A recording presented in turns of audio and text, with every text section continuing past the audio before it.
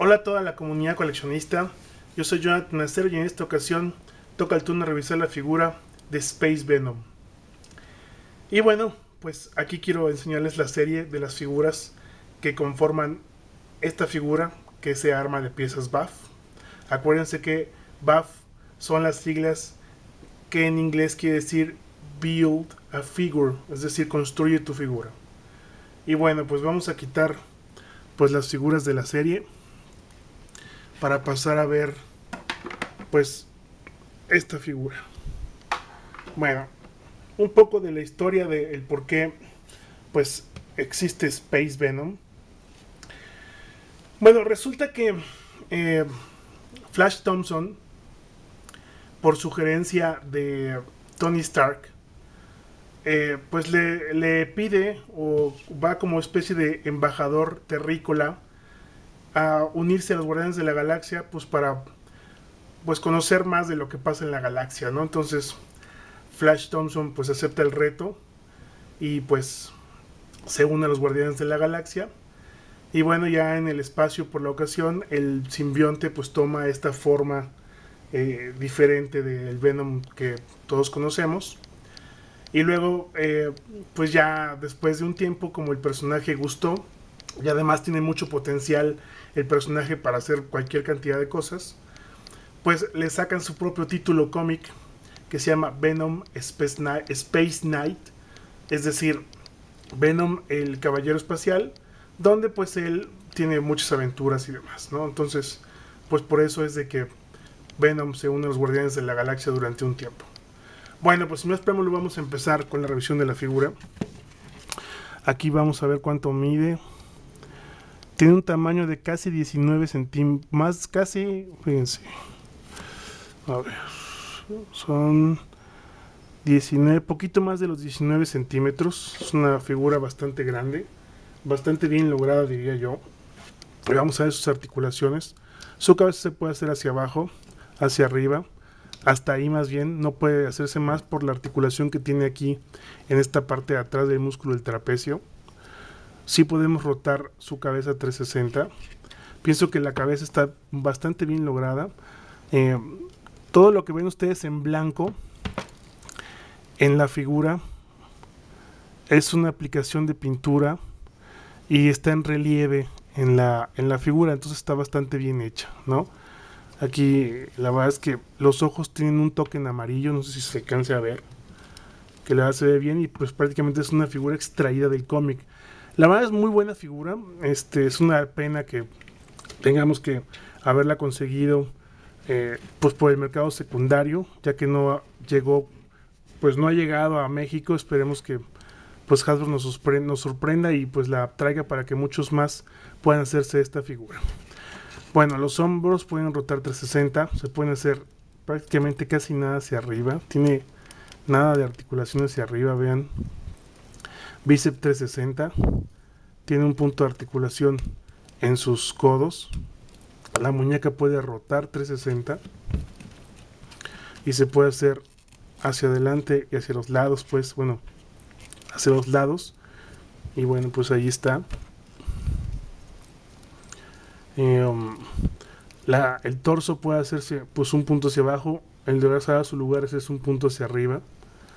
La cintura la podemos rotar 360 grados. Se puede abrir un poco de piernas. Y sus mulos pueden rotar 360 grados. Tiene doble punto de articulación en las rodillas, pero ahí está. Bastante bien.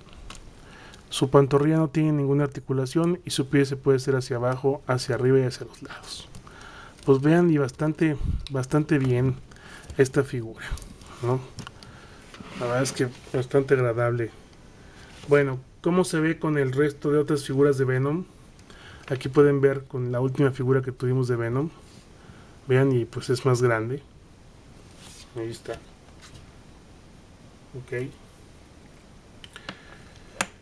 cómo se ve con el Venom de Toy Biz. Vean.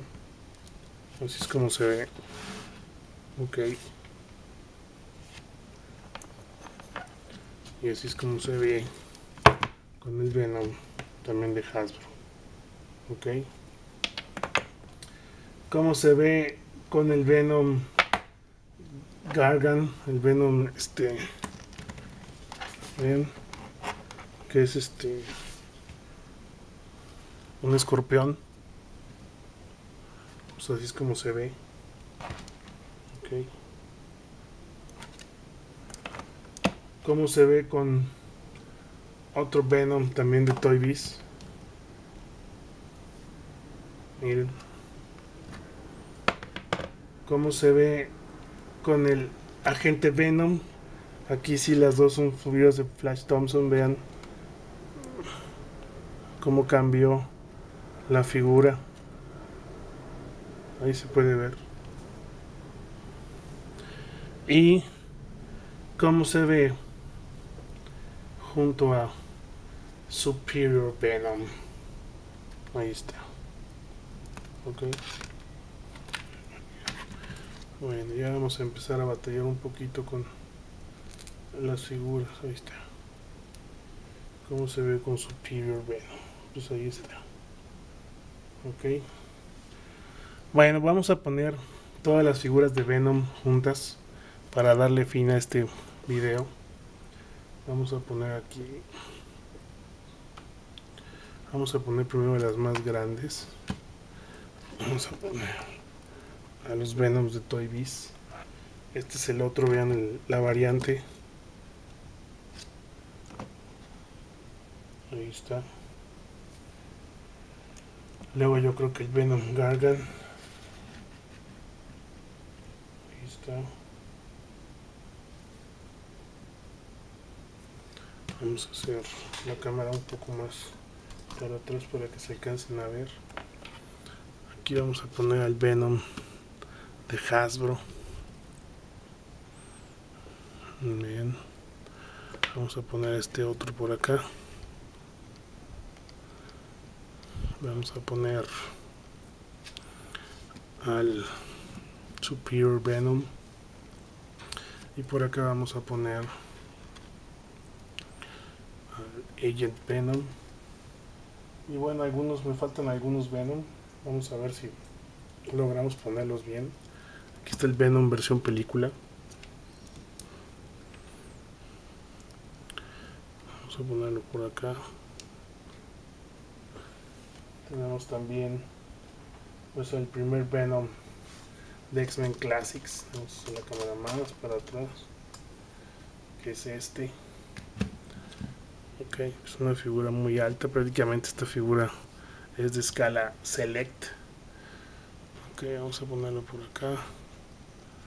Ahí está. Tenemos este otro Venom de Toy Biz del pack de los seis siniestros. Vamos a ponerlo aquí. Ahí está. Y por último a este Venom de Toy Biz que es la locura de Venom vamos a ver si logro. Vamos a ponerlo acá. Y aquí adelante ponemos a la gente Venom. Bueno pues creo que quedó. Creo que quedaron bien todos los Venom. Bueno ahí vamos a hacer. Vamos a mover la cámara para que nos alcancen ver a todos.